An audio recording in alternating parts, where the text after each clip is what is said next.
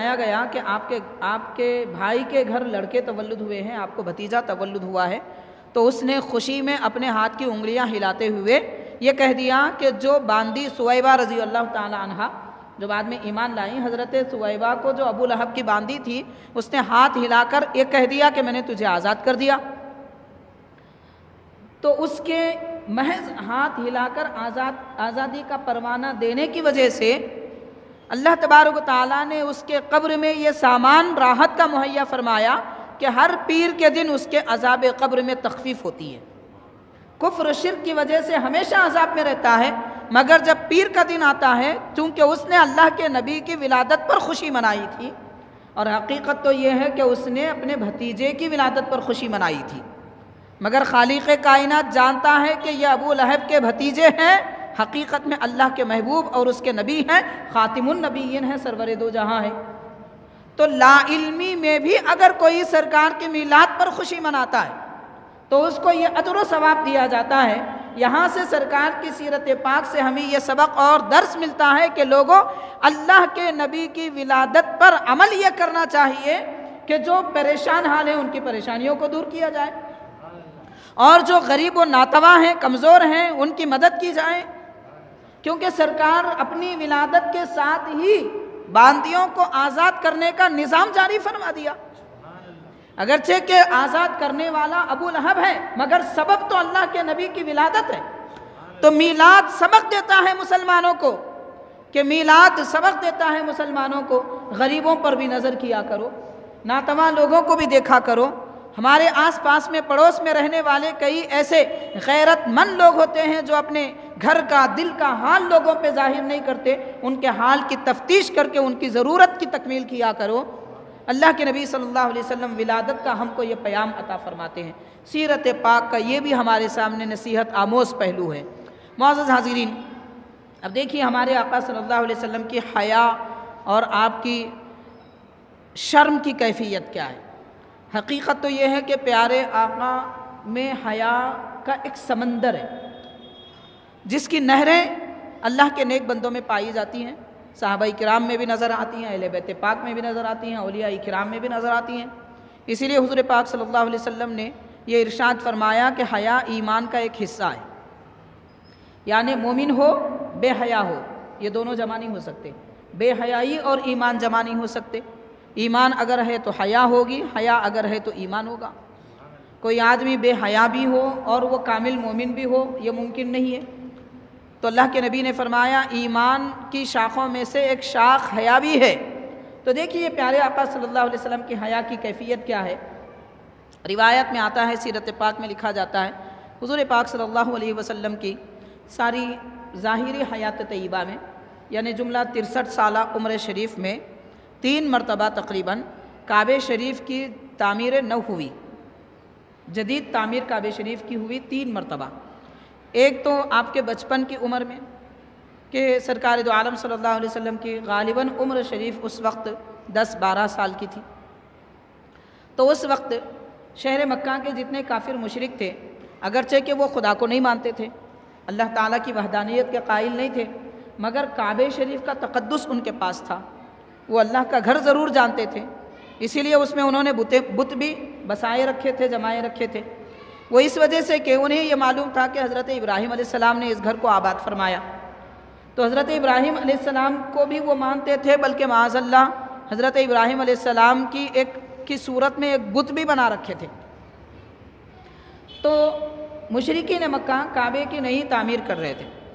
تو سب کی طرح اللہ کے نبی صلی اللہ علیہ وسلم اس عمر میں دس بارہ سال کی عمر میں اپنے شان مبارک پر، مونڈھے شریف پر، کندھے مبارک پر پتھر اٹھا کر لاتے تھے اور کعبے کی دیوار کے قریب رکھتے تھے۔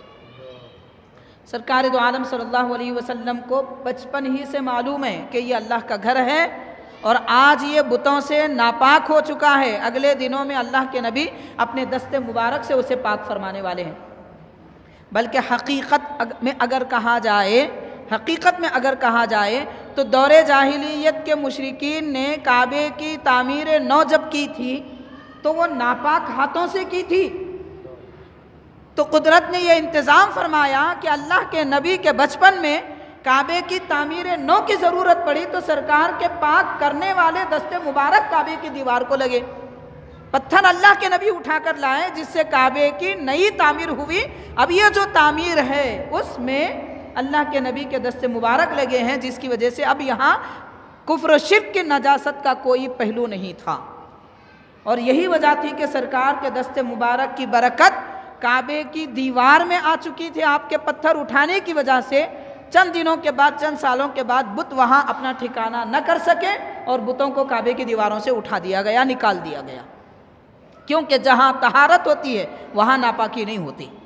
تو اللہ کے نبی صلی اللہ علیہ وسلم اس کیفیت میں، تو روایت میں آتا ہے کہ آپ اپنے مونڈے مبارک پر شان اقدس پر پتھر اٹھا کر لا رہے تھے۔ اچانک آپ کو محسوس ہوا کہ آپ کی تہبن شریف، جسے ہم لنگی کہتے ہیں تہبن شریف اللہ کے نبی صلی اللہ علیہ وسلم کی ڈھیلی ہو رہی ہے اور کھلنے کا اندیشہ ہے۔ یہ اللہ کے نبی نے سرکار نے محسوس کیا۔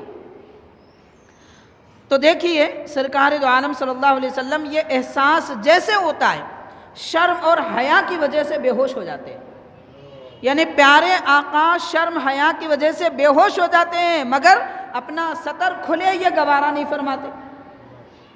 لیکن جب ہوش آیا تو دیکھا کہ تہون شریف تو ہو بہو ایسی ہی ہے۔ صرف احساس کی بنیاد پر بے ہوش ہو گئے لیکن آج ہماری مسلم قوم کا حال تو یہ ہے کہ ہمارے بچے تو بچے بڑوں کا حال بھی استغفر اللہ یہ ہو چکا ہے کہ بے حیائی کی انتہا کر دیتے ہیں، مگر ندامت کا پسینہ تک ان کے پیشانی پر نہیں آتا، بلکہ وہ بے حیائیوں پر اور اتراتے نظر آتے ہیں۔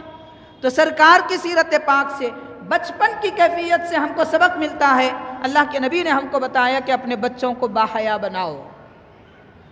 حاضرین بات حیا کی آ رہی تو میں عرض کروں گا، کیسی تربیت ہمارے بزرگان دین کیا کرتے تھے؟ ایک بڑے نقشبندی سلسلے کے بزرگ گزرے ہیں حضرت شیر محمد شرخ پوری رحمۃ اللہ علیہ۔ بڑے پائے کے بزرگ ہیں۔ حضرت شیر محمد شرخ پوری رحمۃ اللہ علیہ، آپ کے متعلق آتا ہے کہ آپ جس علاقے میں پیدا ہوئے چھوٹے سے قصبے میں، جب عمر آپ کی چلنے پھرنے کے قابل ہوئی۔ حیا کا عالم یہ تھا، شرم کی بات اتنی تھی کہ وہ لڑکے ہیں، بچے ہیں چلنے پھرنے کے جب قابل ہوئے تو گھر کے باہر کسی غرض سے کام سے جاتے تو برقع پہن کے جاتے تھے۔ اتنی شرم، اتنی حیا تھی۔ تو لوگ اس علاقے کے کہتے تھے کہ ہمارے فلاں گھر میں ایک لڑکی پیدا ہوا ہے۔ لوگ ایسا کہتے تھے۔ یعنی ہے لڑکا، مگر حیا ایسی ہے کہ لڑکیوں جیسی حیا ہے۔ تو یہ دراصل ماں باپ کی تربیت کا اثر ہوتا ہے۔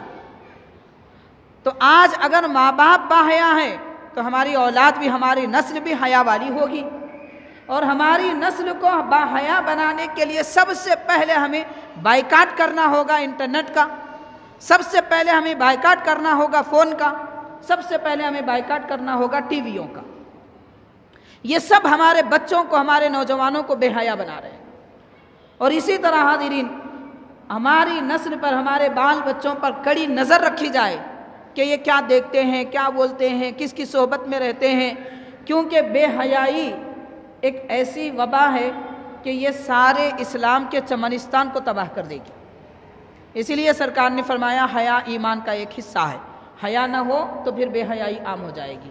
بہرحال حاضرین، حضور پاک صلی اللہ علیہ وسلم کے بچپن شریف کے حالات میں یہ سبق آپ کی سیرت پاک سے ہمیں سبق اور درس نصیحت ملتی ہے کہ مسلمان حیادار ہوتا ہے۔ تو اللہ کے نبی صلی اللہ علیہ وسلم کے حیا کی، یہ کیفیت بچپن میں یہ حال ہے۔ تو اب پیارے آقا صلی اللہ علیہ وسلم کی عظمتوں پہ قربان۔ اللہ کے نبی صلی اللہ علیہ وسلم تو ہر لمحہ رب تبارک تعالیٰ کی قربتوں میں آپ کے معاملات میں، کمالات میں اضافہ ہی ہوتا رہتا ہے۔ اسی طرح حضور پاک صلی اللہ علیہ وسلم کے بچپن کے حالات میں یہ بھی ذکر کیا جاتا ہے۔ اللہ تعالیٰ نے کیسا آپ کی حیات طیبہ کی حفاظت فرمائی۔ سیرت پاک میں لکھا جاتا ہے کہ سرکار دو عالم صلی اللہ علیہ وسلم جب سورج غروب ہونے لگا، رات کے بالکل ابتدائی حصے میں ایک مقام سے شہر مکہ کے ایک گلی سے گزر رہے تھے اور دور سے آپ کو سنائی دیا کہ لوگ کوئی محفل سجائے ہوئے ہیں، گانا بجانا ہو رہا ہے، شراب کی محفل ہے اور لوگ بہت کچھ کھا رہے ہیں، پی رہے ہیں، حرام کاریوں میں مبتلا ہے یہ سن کر سرکار دو عالم صلی اللہ علیہ وسلم کے قلب مبارک میں صرف ارادہ ہوا کہ ہو کیا رہا ہے یہ تو دیکھیں۔ اس محفل میں شراب نوشی کی یا پھر گناہ کی محفل میں حضور شریک ہونے کا ارادہ نہیں فرمائے، بچپن شریف کی کیفیت ہے۔ لیکن صرف یہ کہ دیکھیں ہو کیا رہا ہے۔ ابھی ادھر ارادہ ہوا تھا کہ اللہ نے حفاظت ایسی فرمائی کہ سرکار پر نیند کا غلبہ ہو گیا اور وہیں جہاں پر آپ جلوہ افروز تھے، ایک کنارے میں آرام فرما لیے۔ صبح جب جاگے تو وہاں پر آرام فرما رہے تھے۔ تو غور کیا جائے کہ اس سیرت پاک کی زندگی سے ایک پہلو سے ہم کو سبق یہ ملتا ہے، ہمیں بھی اپنے بچوں کی ایسی تربیت اور ایسی کڑی نگہداشت کرنی چاہیے کہ گناہوں کی طرف مائل بھی نہ ہو اور گناہ کیا ہے ان کو پتہ بھی نہ ہو۔ ہونا تو یہ چاہیے کہ گناہ کیا ہے اس کا احساس بھی نہ ہو، یہ کیفیت ایک مسلمان بچے میں ہونی چاہیے۔ حاضرین کرام سرکار دو عالم صلی اللہ علیہ وسلم جب اعلان نبوت فرماتے ہیں، چالیس سال کی عمر شریف میں اللہ کے نبی نے نبوت کا اعلان فرمایا، اللہ تعالیٰ نے تبلیغ تبلیغ رسالت کا حکم آپ کو فرمایا۔ تو اس وقت حضور پاک صلی اللہ علیہ وسلم نے لوگوں کو اسلام کا پیام دینے کے لیے، تعلیم اسلام سے واقف کرانے کے لیے کس کس طریقے سے لوگوں تک اپنا پیام پہنچایا۔ آج ہمیں یہ بات غور کرنے کی ہے کہ آج ہمارے پاس بے شمار ذرائع ابلاغ ہیں۔ یعنی اپنی بات پہنچانے کے طریقے۔ پہلے زمانے میں تھا ریڈیو، پھر اخبار کو ترقی ملی، پھر ٹیلی ویژن آیا۔ اب تو حال یہ ہے کہ ہر ایک آدمی کے جیب میں، جیسے کہتے تھے پہلے کہ دنیا مٹھی میں، اب تو پوری دنیا مٹھی میں نہیں، بلکہ ایک چھوٹے سے کارڈ میں آ چکی ہے۔ ہر آدمی کے جیب میں پوری دنیا کی خبریں موجود ہیں۔ مگر افسوس کی بات ہے کہ ہم مسلمانوں کو اس کا صحیح استعمال کرنا نہیں آتا۔ سرکار دو عالم صلی اللہ علیہ وسلم نے امت مسلمہ کو یہ بھی سبق دیا، تعلیم عطا فرمائی کہ دیکھو حق بات، حق کا پیام کس طریقے سے لوگوں تک پہنچانا ہے۔ تو سرکار نے سب سے پہلے لوگوں کو ایک مقام پر جمع فرمایا۔ کس طریقے سے جمع فرمایا؟ ایک اونچی چٹان پر حضور جلوہ افروز ہوئے، کھڑے ہوئے اور اعلان فرمایا کہ لوگوں، میں تم سے کچھ بات کرنا چاہتا ہوں۔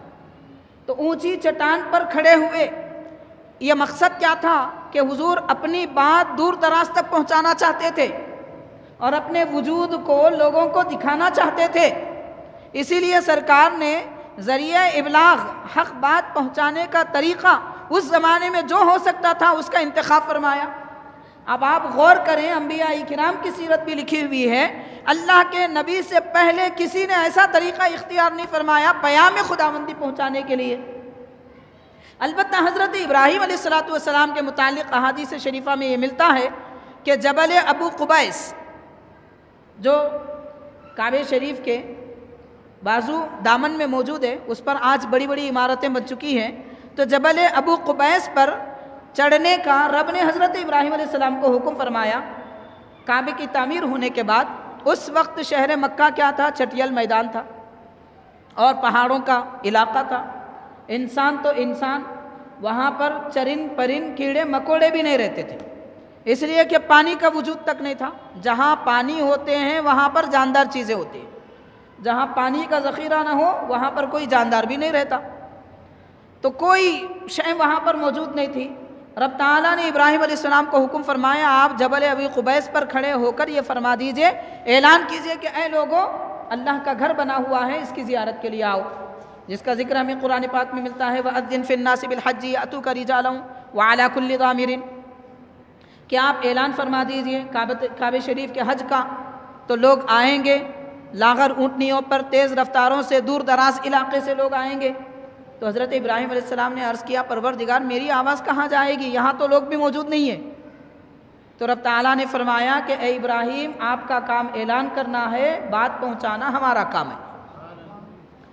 تو حضرت ابراہیم علیہ السلام ایک پہاڑ پر رب کے حکم سے کھڑے ہو کر اعلان تو ضرور فرمائے ہیں، مگر اللہ نے آپ کی بات لوگوں تک پہنچائی۔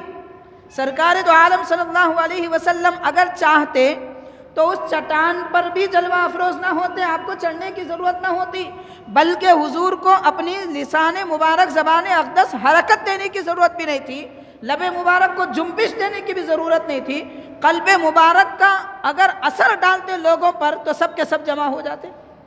یہ اختیار تو اللہ کے نبی کو رب نے عطا فرمایا، مگر سرکار جانتے ہیں کہ میری امت آگے مجبور بھی ہوگی، ان کے پاس کوئی ذریعہ ابلاغ بھی نہیں ہوگا۔ ان کو بھی سبق دینا ہے کہ پیام حق کیسے پہنچایا جائے۔ اسی لیے سرکار نے مادی دنیا میں مادی طریقہ اختیار فرمایا اور ایک چٹان پر جلوہ افروز ہو کر لوگوں کو جمع فرمایا اور اعلان فرمایا، یہ ایک طریقہ سرکار نے پیام حق پہنچانے کا اختیار فرمایا۔ اور اسی اسی زمانے میں اللہ کے نبی صلی اللہ علیہ وسلم نے دوسرا طریقہ یہ اختیار فرمایا کہ شہر مکہ اور اس کے اطراف میں طائف وغیرہ کے علاقے میں جہاں جہاں مشرقین کے بڑے بڑے بازار سال بھر میں لگتے تھے، مہینہ دو مہینے میں کہیں نہ کہیں مشرقین کے بڑے بڑے بازار لگتے تھے جہاں سارے عرب بلکہ ملک شام اور دیگر ممالک سے بھی لوگ آتے تھے۔ تو ایسے بازاروں میں حضور پاک صلی اللہ علیہ وسلم تشریف لے جاتے اور لوگوں کو جمع کر کے ان کو اللہ کا پیام عطا فرماتے۔ تو مطلب لوگوں کے جمع ہونے کی جگہ سرکار نے پیام پہنچانے کے لیے، تبلیغ و ارشاد کا کام کرنے کے لیے، دعوت حق کی دعوت حق عام کرنے کے لیے یہ طریقے اختیار فرمائے۔ یہ تو عام لوگوں کے لیے تھا۔ آج ہم دیکھتے ہیں کہ بہت سارے تبلیغ و ارشاد کا کام کرنے والے لوگ ایسے ہوتے ہیں کہ ان کے ان کے گھروں میں خود بے دینی ہوتی۔ جیسے پرانے زمانے میں مثال دیتے تھے کہ چراغ تلے اندھیرا۔ تو وہ کیفیت کئی لوگوں میں پائی جاتی ہے۔ لیکن حاضرین، پیارے آقا صلی اللہ علیہ وسلم نے سب سے پہلے اپنے گھر والوں کو جمع فرمایا، اہل خاندان کو جمع فرمایا، چچاؤں کو جمع فرمایا اور اللہ کے نبی نے ان کی ضیافت فرمائی، دعوت کا اہتمام فرمایا اور اس کے بعد ارشاد فرمایا کہ رب تعالیٰ نے مجھے نبی بنایا، رسالت عطا فرمائی، اللہ تعالیٰ ایک ہے، اس کی عبادت کرو، بتوں کی عبادت مت کرو۔ اس کے بعد سرکار نے ان کو نصیحت عطا فرمائی پھر اسی موقع پر حضرت فاطمہ رضی اللہ تعالیٰ عنہ کو اور دیگر اور حضرات کو مخاطب کر کے خاص طور پر فرمایا کہ اگر ایمان نہ لاؤ گے تو پھر تمہیں کامیابی نہیں ملے گی۔ تو سرکار تو عالم صلی اللہ علیہ وسلم نے آپ کی اپنی سیرت مبارکہ سے یہ بھی سبق دیا کہ اللہ نے اگر تمہیں طاقت و قوت دی ہے، زبان میں اگر تمہارے پاس اثر ہے، اگر تمہارے پاس مال و دولت موجود ہے، تمہارا کوئی اپنا وقار ہے تو تمہیں چاہیے کہ تم حق کی بات دوسروں تک پہنچاؤ اور اس کے لیے اگر ضیافت و دعوت بھی کرنا پڑے تو کرو۔ اب ہمیں غور کرنا چاہیے، آج ہمارے پاس بے شمار دعوتیں ہوتی ہیں۔ شادیوں کی دعوتیں ہیں، عقیقے کی دعوتیں ہیں، نام رکھائی کی دعوتیں ہیں کیا کیا دعوتیں ہوتی ہیں؟ مگر ہماری دعوتوں میں آج سوائے فضول خرچی اور آتش بازی اور بیکار گفتگو یا وہ گوئی کے سوا کوئی اور کام نہیں ہوتا۔ لوگ تو لوگ، افسوس کی بات یہ ہے کہ گانے بجانے بھی کیا کرتے ہیں آرکسٹرے کا پروگرام کیا کرتا ہے۔ اور اگر جمع بھی ہوتے ہیں تو بیتو کی باتوں میں اپنا وقت گزر جاتا ہے۔ تو اگر دعوت کر رہے ہیں، لوگ جمع ہو رہے ہیں، تو سرکار نے سیرت پاک سے سبق دیا کہ اس موقع پر دس منٹ، پانچ منٹ کے لیے بھی کیوں نہ ہو، کوئی ایسی بات لوگوں تک پہنچاؤ جس سے ان کا دل بدل جائے۔ اسلام کی کوئی بات ان کو پہنچے؟ ہو سکتا ہے کوئی اچھی بات بتانے والوں کو جب لائے، ان سے کوئی تقریر یا بیان یا واز کروایا جائے، یا خود کوئی کتاب پڑھ کر سنائے، یا کوئی نعتیہ محفل منعقد کریں۔ لوگ جب جمع ہوتے ہیں، کھانے کے لیے تو ماشاءاللہ لوگ جمع ہوتے ہیں، تو ان کے جسمانی غذا کے ساتھ، روحانی غذا کا بھی کوئی انتظام کیا جائے؟ سرکار دو عالم صلی اللہ علیہ وسلم نے سیرت پاک سے امت مسلمہ کو یہ سبق عطا فرمایا۔ تو حاضرین، اللہ کے نبی کے سیرت پاک میں کتنے پہلو ہیں؟ کیا کیا چیزیں ہمیں ملتی ہیں؟ جیسا کہ ہم نے ابتدا میں عرض کیا ہے، ایک بے کنارہ سمندر ہے۔ اب آپ جتنے اس میں غور کریں گے، اتنے موتی، اتنے جواہر ہم کو حاصل ہو جائیں گے۔ حاضرین، اسی طرح حضور پاک علیہ السلاۃ والسلام ہجرت جب فرماتے ہیں، تو ہجرت سے پہلے شہر مکہ میں تقریباً تیرہ سال تیرہ سال کا عرصہ پیارے آقا صلی اللہ علیہ وسلم کا مکہ شریف میں جو گزرا ہے۔ آپ دیکھیے، صحابہ کرام ایمان لا چکے ہیں۔ ہجرت سے پہلے تک لگ بھگ تقریباً تقریباً دو ہزار صحابہ کرام ایمان لا چکے تھے۔ ہجرت سے پہلے تک دو ہزار کوئی معمولی تعداد نہیں ہے۔ کیونکہ جب صحابہ کرام کی تعداد چالیس ہوئی، چالیس جب تعداد ہوئی، تب ہی حضرت فاروق اعظم نے اعلان کر دیا۔ کہ اگر کسی کو اپنی بیوی کو بیوہ کرنا ہے، بچوں کو یتیم کرنا ہے، تو ہمارا راستہ روکے۔ ہم تو کعبے کے سہن میں نماز پڑھنے کو جا رہے ہیں۔ چالیس کی تعداد میں یہ زور تھا صحابہ کے نام کا، دو ہزار کی تعداد میں کتنی قوت نہ ہوگی۔ اس پر ہمیں غور کرنے کی ضرورت ہے۔ مگر آپ سیرت پاک پڑھیے۔ ہجرت سے پہلے سرکار دو عالم صلی اللہ علیہ وسلم نے مشرقین کی اظہار آسانی اور ان کی تکلیف کا کوئی جواب نہیں دیا۔ ظلم سہتے رہے، تکلیف برداشت کرتے رہے۔ غلاموں کو ستایا گیا، صحابہ کرام کو تکلیف دی گئی۔ بلکہ بڑے بڑے مالدار، عظیم المرتبت صحابہ بھی ایمان لاتے تو ان ان پر بھی پتھر مارے گئے۔ لیکن اس کی کوئی جوابی کاروائی نہیں ہو تو یہاں سے سبق پیارے آقا نے سیرت پاک کے اس پہلو سے ہم کو سبق یہ ملتا ہے کہ اللہ کے نبی نے بتایا کہ جب تک کہ تمہاری قوت نہ ہو، جب تک کہ تمہارا روب و دبدبا نہ ہو اور زندگی میں تمہارے کبھی ایسے حالات آ جائیں کہ کسی اور حکومت کے تحت میں اگر تم ہو تو جوابی کاروائی کی فکر مت کرو۔ بلکہ خاموشی کے ساتھ ایسا عمل کرو کہ پیام اسلام ایسے لوگوں تک پہنچا دو کہ لوگ جوخ جوخ اسلام میں داخل ہو جائیں۔ تو صحابہ کرام نے وہی کیا۔ تجارت امانت داری سے کی شہر مکہ میں رہ کر۔ صحابہ کرام نے ہجرت سے پہلے جو تجارت کی، وہ کس سے کی؟ مشرقین سے کی، کافروں سے کیا؟ اور خود عرب کے ملک والے، دیگر ممالک کے لوگوں کے ساتھ، ان کی تجارت، ان کی امانت داری، ان کی خوش اخلاقی، ان کی نرم گفتگو اور ان کی ضیافت، ان کا ایثار ان کا جذبہ دیکھ کر کئی لوگ مشرف و اسلام ہوتے رہے۔ تو اسلام پھیلانے کا صرف یہ طریقہ ہی نہیں ہے کہ روب و دبدبے سے کام لیا جائے۔ کوئی آدمی، کوئی مسلمان کسی کے ماتحت رہ کے بھی اسلام کی اشاعت کر سکتا ہے۔ اس کے لیے پاور ہونا، قوت ہونا، طاقت ہونا ضروری نہیں ہے۔ سرکار نے ہجرت سے پہلے کی حیات طیبہ مکی زندگی سے مسلمانوں کو یہ سبق عطا فرمایا۔ حاضرین، یہ پہلو آج ہم ہندوستانی مسلمانوں کے لیے بڑے غور و فکر کا پہلو ہے۔ مسلمان ہندوستان کے آج جس کیفیت سے گزر رہے ہیں، تو ہمیں چاہیے کہ ہم ہر بات کا جواب نہ دیں۔ ہر بات کے لیے سینہ سپر نہ ہو جائیں، بلکہ ہم کام ایسا کریں جسے زمینی کاروائی کہتے ہیں۔ ماحول ایسا پیدا کریں کہ ہم سے ملنے والا ہر کافر ہم سے متاثر ہو جائے، ہماری گفتگو پر قربان ہو جائے، غیر مسلمین کی مجبوری، ضرورتیں وغیرہ دیکھ کر ان کا تعاون کیا جائے، ان کی مدد کی جائے، جس کے اس حسن اخلاق کی وجہ سے لوگ مسلمان ہو جائیں گے۔ ہمارے اسلاف، ہمارے بزرگوں نے کیا کیا؟ ان کے پاس روب و دبدبا تھا، ان کے پاس سلطنتیں تھیں ان کے پاس قوت و طاقت تھی، ان کے پاس فوج تھی، ان کے پاس ہتھیار تھا۔ سب کچھ ہونے کے باوجود ہمارے اسلاف نے، بزرگوں نے تلوار سے، تیر و تبر سے کام نہیں لیا، بلکہ زبان کی شیرینی سے کام لیا، اخلاق و کردار سے کام لیا۔ تو سرکار دو عالم صلی اللہ علیہ وسلم کی سیرت کا یہ پہلو آج مسلمانوں کو سبق دیتا ہے کہ لوگ اپنے اخلاق و کردار، نبوی کردار میں رنگ لو اور ڈھال لو، پھر اس کے بعد دیکھیے کہ لوگ کیسے اسلام کو سچا مانیں گے اور اسلام پر اعتراض کرنا چھوڑیں گے۔ حاضرین، اسی طرح چند اور باتیں میں عرض کروں گا، پھر اپنے گفتگو سمیٹوں گا۔ سرکار دو عالم صلی اللہ علیہ وسلم جب ہجرت فرمائی، اللہ تعالیٰ نے حکم فرمایا کہ یا یوہ نبی اے نبی، آپ ہجرت فرما دیجیے۔ رب تعالیٰ نے جب حکم فرمایا، تو حضور پاک صلی اللہ علیہ وسلم نے پہلے پہلے تو صحابہ کرام کو بھیجا۔ خود تشریف نہیں لے گئے۔ اس لیے کہ اللہ کے نبی پہلے اگر تشریف لے جاتے تو پھر صحابہ کرام گویا نہتے ہو جاتے۔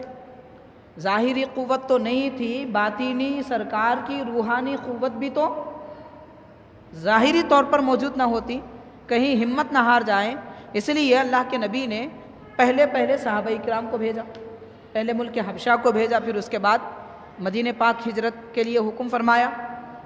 اس کے بعد حضور پاک صلی اللہ علیہ وسلم حضرت ابوبکر صدیق رضی اللہ تعالیٰ عنہ کو اشارتاً فرمایا کہ ایک دن آنے والا ہے، ہم آپ کو لے کر چلیں گے۔ چنانچہ اچانک سرکار دو عالم صلی اللہ علیہ وسلم اپنے بستر مبارک پر حضرت سیدنا علی مرتضیٰ رضی اللہ تعالیٰ عنہ کو آرام کرنے کے لیے اور جو مشرقین کفار آپ کے پاس امانتیں رکھوائے تھے، وہ امانتیں واپس لوٹانے کے لیے۔ بستر پر آرام فرمانے کے لیے کہا صدیق اکبر رضی اللہ تعالیٰ کے پاس جا کر آپ وہاں سے ہجرت کے لیے نکلے؟ تو یہاں سے ہم کو سبق یہ ملتا ہے کہ مسلمان امانت دار ہوتا ہے۔ ہمارے آقا امانت دار ہیں، تو پھر مسلمان امتی ماننے والا کیسے امانت دار نہیں ہوگا؟ آج ہماری مسلم قوم کا حال تو یہ ہے کہ حاضرین، افسوس کی بات یہ ہے کہ آج اگر کاروبار میں، قرض میں کسی پر اگر بھروسہ نہیں کیا جاتا ہے تو وہ مسلمان ہے ہم کو اندازہ ہے اس بات کا ہم بخوبی جانتے ہیں۔ یہ کوئی ڈھکی چھپی بات نہیں ہے۔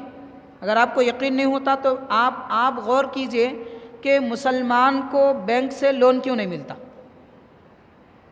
لون لینا جائز ہے، ناجائز ہے، ایک الگ گفتگو۔ لیکن مسلمان کو بینک سے لون ملتا کیوں نہیں؟ اگر ملتا بھی ہے کسی کو تو بڑی مشکل سے۔ وہ بھی بہت ساری شیورٹی کے ساتھ، بہت ساری ضمانتوں کے ساتھ کیوں نہیں ملتا؟ سب کی نظروں میں یہ ہے کہ مسلمان قرضہ لے تو واپس نہیں کرتا۔ یہی وجہ بتاتے ہیں۔ خود بینک بینک والوں سے بھی پوچھ لیجیے اور ان ان کا اظہار خیال بھی معلوم کر لیجیے، یہی نتیجہ نکلے گا۔ تو کیا آج ہم نے کیا اسلام کا دنیا میں مذاق نہیں اڑایا ہے؟ یہ ہمارے اخلاق ہیں، یہ ہمارے کردار ہیں۔ کہ جب ہم کسی کچھ سے کچھ لیتے ہیں تو دیتے نہیں ہیں۔ لیکن پیارے آقا صلی اللہ علیہ وسلم کی شان و عظمت ایسی ہے اور سیرت پاک ایسی پاک وہ بے داغ ہے کہ وہ مشرق وہ کافر جو حضور کو نبی نہیں مانتے تھے، مگر اپنی امانتیں اللہ کے نبی کے پاس لا کر رکھواتے تھے۔ کیونکہ وہ جانتے ہیں، پیارے آقا امانت دار ہیں، حضور جب تشریف لے جا رہے تھے، تو اپنے اپنے محبوب حضرت علی رضی اللہ تعالیٰ عنہ خاندان میں سے ہیں اور چچیرے بھائی ہیں، سب سے محبوب ترین ذات ہے۔ مگر سرکار نے یہ بھی گوارہ فرمایا دشمن سے اگر میرے محبوب کو تکلیف بھی ہوتی ہے تو ہو جائے، مگر امانتوں میں کوئی خیانت نہ ہو جائے۔ یہ کردار پیارے آقا صلی اللہ علیہ وسلم نے امت کو عطا فرمایا۔ اور پھر اس کے بعد سرکار حضرت صدیق اکبر رضی اللہ تعالیٰ عنہ کے پاس تشریف لے گئے۔ حضرت ابو بکر صدیق رضی اللہ تعالیٰ عنہ نے اپنے گھر میں جتنی پونجی تھی، سب کی سب لے لی ساتھ میں۔ قریب پانچ یا چھ ہزار درہم تھے۔ پانچ یا چھ ہزار درہم سب کچھ ساتھ لے لیا۔ اور آپ کے والد محترم حضرت ابو قحافہ رضی اللہ تعالیٰ عنہ جو اس وقت ابھی ایمان نہیں لائے تھے، حضرت ابو قحافہ بڑی عمر والے تھے اور ان کو آنکھوں سے نظر نہیں آتا تھا۔ صدیق اکبر رضی اللہ تعالیٰ عنہ کی دو شہزادیاں گھر میں تھیں، حضرت عائشہ، حضرت اسما رضی اللہ تعالیٰ عنہما۔ حضرت ابو بکر صدیق رضی اللہ عنہ ساری پونجی لے کر چلے گئے۔ لیکن حضرت ابو قحافہ رضی اللہ تعالیٰ عنہ پوچھتے ہیں اپنے پوتریوں سے کہ بیٹا ابو بکر کیا سرکار گھر کا سارا سامان لے گئے؟ ہماری سہولت کے لیے، ہمارے کھانے پینے کے لیے بھی کچھ چھوڑا ہے کہ نہیں چھوڑا ہے؟ جبکہ وہاں گھر میں کچھ موجود نہیں تھا۔ لیکن قربان جائیے صدیق اکبر کی اپنی بچیوں کی تربیت پر۔ وہ کیا کرتے ہیں فوراً؟ کہیں ان کے والد کو تکلیف نہ ہو جائے۔ ظاہر ہے کہ اگر تھوڑی سی تکلیف ہو گئی اور یہ معلوم ہو گیا کہ گھر میں پونجی بھی نہیں رکھی، سب لے کے گئے۔ تو بڑے لوگوں کا ایک مزاج بھی ہوتا ہے۔ وہ اپنے گھر کی بات اپنے دوستوں میں باہر چبوتروں پہ بیٹھ کے بول دیتے ہیں۔ انسانی فطرت ہے، عادت ہے۔ کہیں ایسا نہ ہو جائے کہ گھر کی بات دوسروں کو معلوم نہ ہو جائے۔ اس لیے دانش مند زیرک صاحب زادیاں حضرت صدیق اکبر کے آپ نے کیسی تربیت کی تھی کہ موقع کی نزاکت سے فوراً ایسی تدبیر کرتی ہیں کہ چھوٹی سی ٹھکریاں جہاں حضرت صدیق اکبر پیسے، درہم، دینار رکھتے تھے وہاں پر جمع کر دیتی ہیں اور اس کے اوپر کوئی کپڑا ڈال دیتی ہیں۔ اور چونکہ یہ نابینا تھے، انہیں لا کر بتاتی ہیں، ہاتھ سے ٹٹولتی ہیں وہ اوپر سے کہ دیکھو ابا حضور نے بہت کچھ چھوڑا ہے ہمارے لیے۔ تاکہ ان کو اطمینان بھی ہو جائے، کہیں صدمہ نہ ہو جائے۔ بڑی عمر ہے، صدمے کی وجہ سے پھر کوئی تکلیف نہ ہو جائے، بیمار نہ ہو جائے۔ یہ ساری تدبیریں، یہ کم عمر لڑکیاں، ان کی شہزادیاں اختیار کرتی ہیں۔ تو جب کوئی اہم ترین واقعہ ہوتا ہے، کوئی اقدام کرنا ہوتا ہے تو بچوں کی تربیت اس انداز سے کرنی چاہیے، سیرت النبی کے ایک پہلو سے ایک سبق ہمیں یہ بھی ملتا ہے کہ ہم اپنے بچوں کو ہوشیار بنائیں، سمجھدار بنائیں، زیرک بنائیں، تدبر والا بنائیں، بے وقوف رہنے نہ دیں مطلب پرست نہ بنائیں، اوروں پر قربان ہو جانے والا بنائیں، لوگوں کا دل رکھنے والا بنائیں، کسی کے دل کو ٹھیس پہنچانے والا نہ بنائیں۔ یہ کیفیتیں سیرت پاک کے ہمارے سامنے آتی ہیں۔ اللہ کے نبی صلی اللہ علیہ وسلم تشریف لے جاتے ہیں۔ معزز حاضرین، بہرحال آخری ایک بات عرض کروں گا۔ واقعات تو بہت سارے ہیں، تفصیلات تو بہت ساری ہیں۔ پیارے آقا صلی اللہ علیہ وسلم کی یہ بھی ایک سیرت پاک کی عجب شان ہے۔ ہجرت کا واقعہ تو بڑا طویل ہے، مگر جب مدینہ پاک میں داخل ہو رہے تھے، تو مدینہ شریف سے قریب کئی دور تک مدینہ پاک کے صحابہ اکرام، انصاری وغیرہ اور جو صحابہ ہجرت کر گئے تھے، وہ سب کے سب مدینہ شہر کے آگے حضور کے انتظار میں تشریف، آ گئے تھے۔ اور بہت سارے ایسے لوگ بھی اس میں تھے کہ جو ابھی سرکار کو دیکھے نہیں تھے۔ صحابہ کرام مدین پاک پہلے ہی آ کر وہاں پر اسلام کی داخل ڈال چکے تھے۔ تو بہت سارے ایمان لانے والے اور ایمان نہ لانے والے جو سب دیکھنے کے لیے جمع ہوئے تھے۔ اب دیکھیے کہ حضرت صدیق اکبر رضی اللہ تعالیٰ عنہ کے ساتھ حضور پاک صلی اللہ علیہ وسلم تشریف لا رہے ادھر یہ دور سے دیکھنے والے یہ پوچھ رہے ہیں کہ ان میں اللہ کے نبی کون ہے مطلب یہ ہے کہ پیارے آقا کی شان ایسی ہے کہ آپ ٹھاٹ باٹ کے ساتھ لوگوں کے ساتھ نہیں رہتے تھے۔ آج ہمارے پاس جب کسی کو کوئی مرتبہ، منصب کرسی، عہدہ مل جاتا ہے تو پہچاننا مشکل ہو جاتا ہے۔ وہ نہیں پہچانتے مگر لوگ ان کو علانیہ پہچان لیتے ہیں کہ وہ جناب ہے فلاں ہیں۔ علانیہ محسوس ہوتا ہے، ان کا لباس بتاتا ہے، ان کا انداز بتاتا ہے، ان کا چلنا بتاتا ہے، ان کی گفتگو بتاتی ہے کہ یہ جناب وہی ہے لیکن سرکار دو عالم صلی اللہ علیہ وسلم اپنے غلام کے ساتھ اس انداز سے آ رہے ہیں کہ لوگ پہچان نہیں پا رہے ہیں کہ ابو بکر کون ہے اللہ کے نبی کون ہے اور صدیق اکبر کی سمجھداری وزیر کی پر قربان۔ کئی کتنے فاصلے پر ہیں، لوگوں کے انداز کو سمجھ جاتے ہیں اور فوراً اللہ کے نبی صلی اللہ علیہ وسلم کے پیچھے ہو جاتے ہیں اور بڑے ادب چلنے رکھتے ہیں۔ سرکار نے فرمایا، ابو بکر، ابھی کیا ہوا آپ کو؟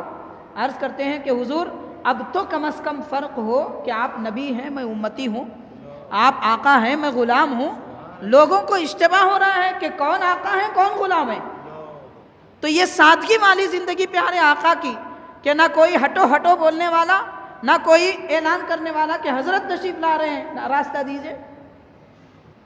دو جہاں کے مختار ہیں، سلطان دو جہاں ہیں، مگر سادگی ایسی کہ بوریا نشین ہے حسیر پر آرام فرماتے ہیں تو جس میں اقدس پر نشان آتے ہیں۔ یہ ہمارے آقا کی زندگی ہے، اور آج ہمارے پاس کھانے کو ایک پائی نہیں ہوتی، مگر سونے کے لیے گدہ ضرور چاہیے۔ یہ کیفیت آج مسلمانوں کی ہے۔ قربان چاہیے ہمارے آقا صلی اللہ علیہ وسلم کی پاک باز زندگی پر۔ اب بولیے کہ یہ سب معجزہ نہیں ہے تو اور کیا ہے؟ کون ایسی زندگی اختیار کر سکتا ہے؟ ہاں امتیوں کو ضرور اس کی پیروی کرنا لازم اور ضروری ہوتا ہے۔ حاضرین ایک بات اور بھی عرض کرتا ہوں۔ حضرت صدیق اکبر رضی اللہ تعالیٰ عنہ راستے میں ہجرت کے درمیان، چونکہ آپ بڑے تاجر تھے، شہر مکہ کے حضرت ابوبکر رضی اللہ تعالیٰ اور چونکہ آپ تجارت کی غرض سے مختلف علاقوں میں چھوٹے چھوٹے قصبوں میں بھی تشریف لے جاتے تھے۔ حضور پاک صلی اللہ علیہ وسلم کا نام تو لوگوں نے سنا تھا قصبے مکہ شریف سے مدینہ پاک کے راستے میں واقع ہونے والے۔ مگر اللہ کے نبی کو لوگوں نے دیکھا نہیں تھا۔ صدیق اکبر کو وہ دیکھ چکے تھے، چونکہ آپ تجارت کرتے تھے، لوگ جانتے تھے۔ تو جس جس قصبے سے، گاؤں سے، علاقے سے گزرتے تھے، لوگ حضرت ابوبکر سے ملاقات بھی کرتے، خیر خیریت پوچھتے۔ اور یہ پوچھتے کہ یہ کون ہے آپ کے ساتھ؟ تو دیکھیے حضرت ابوبکر صدیق رضی اللہ تعالیٰ عنہ کی سمجھداری۔ یہ سمجھداری کی بھی آج ہمارے پاس ضرورت ہے، اس کی اس کی ٹریننگ کرنے کی ضرورت ہوتی ہے۔ سمجھانے، بجھانے، تربیت کرنے کی ضرورت ہوتی ہے۔ موقع کی نزاکت کے ساتھ میں، کیونکہ یہ ایسا موقع تھا کہ اللہ